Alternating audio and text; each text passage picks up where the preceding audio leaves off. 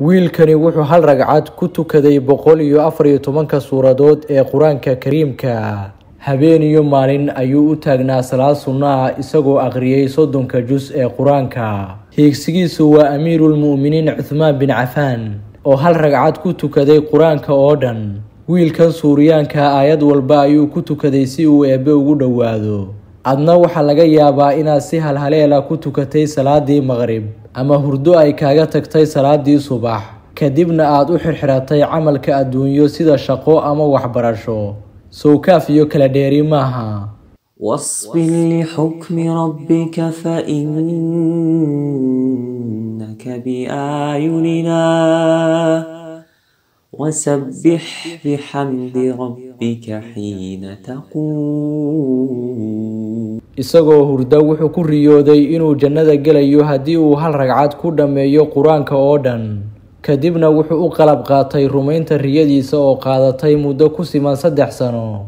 Intuu salaada ku jiray murqaha ayaa tabargabay daal dartii lagu haajareeyey ilaa uu ku sigtay inuu joogga ka dhaco. Balse wuxuu ku adkaystay inuusan isdhiibin ilaa uu qur'aan ka dhammeeyo. Haddii aad ka mid tahay walaalaha khayr ka jecel fadlan layg saar muuqaalkan lana wadaag saaxiibada. Mahadsanid muslimiintu waa hogaamiyeyaasha saxda ah ee caalamka. Waana cidda keliya ee sida dhabtaa u fahansan in adduunyadu ay tahay daarul camal ama duni qof walba wixii uu shaqaysto uu aakhiro midhaheeda guran doono. Waana sababta wiilkan carbeed uu u doonayo inuu kororsado miisaankiisa xasanaadka si uu berri jahanamo uga badbaado reer galbeedka waxaa fajac iyo amakaa ku reebay sheekh raxmaal annabhaan oo u dhashay dalka suuriya oo in ka badan toddoba saacadood akhrinayay qur'aanka kariimka. Xilli uu ku jiray salaad sunne ah. Sheekh raxmaal annabhaan waa wiil ku jira da'aadda labaataneeyada. Wuxuu ka soo jeedaa magaalada xalab ee dalka siiriya isagoo yar ayuu u kabayladay inuu barto qur'aanka kariimka wuxuuna shan iyo toban jirkiisii noqday xaafidul qur'aan salaadaha ka tojiya masaajidda. Fikradda inuu salaada ugu dheer ku aqriyo qur'aanka kariimka ayaa ku dhalatay.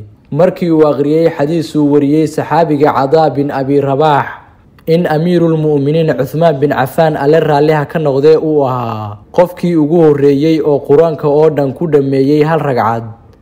Waxaana cuthmaan bin cafaan loo tiriyaa inuu ahaa saxaabigii ugu cilmiga badnaa saxaabada dhanka cibaadada.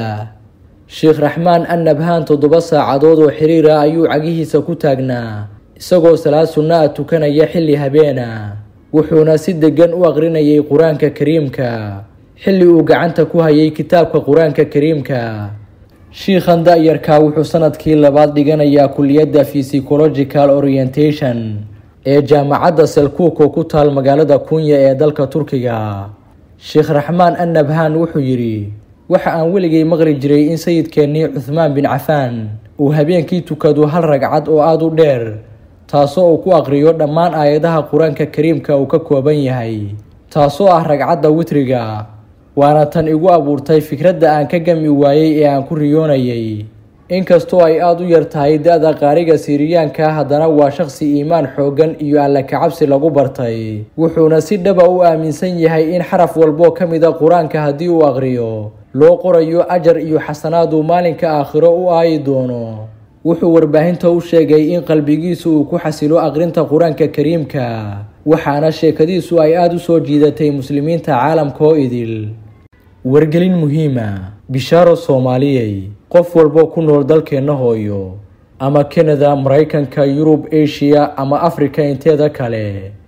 Waxaan idiin haynaa fursad ganacsi oo ay idiin soo bandhigayso shirkadda weyn ee laga leeyahay waddanka maraykanka ee foever livin haddaba ma kugu habboon yahay ganacsigani fadlan isweydii su'aalahan. Ma tahay qof shaqeeya laakiin dhaqaalaha soo gala uusan ku filayn ma tahay hooyo jecel inay shaqaysato iyadoo ubadkeeda la joogta gurigeeda?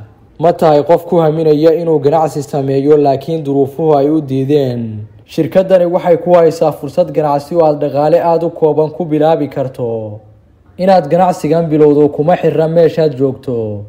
Waayo adduunkao dhan ayuu xaruma ku leeyahay sida north america yurub aasiya afrika iyo waddankeenii hooyo dhaqaalaha ugu fiican ee aad ku samayn karto dalabka ugu horreeya waa saddex boqol sagaashan iyo sideed dollar. Waa markaad joogto soomaaliya. Haddii aad joogto waqooyiga amerikana afar boqol iyo konton dollar ayaad ku bilaabi kartaa ganacsigaaga.